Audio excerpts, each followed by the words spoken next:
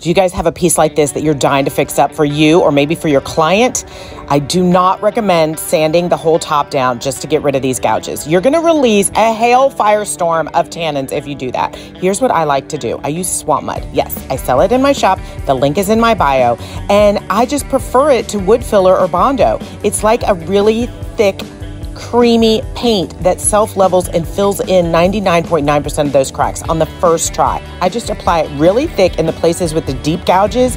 And then for the rest of the table, I'm just gonna put this on and spread it out with a really thin coat just to smooth everything out. And when it dries, it's pretty much rock hard, but you can still sand it a little bit just to get it really nice and smooth. For minor imperfections, seriously, one coat's gonna do it. If you have deep gouges like I do, you might wanna go over those spaces a couple more times with a little heavier coat.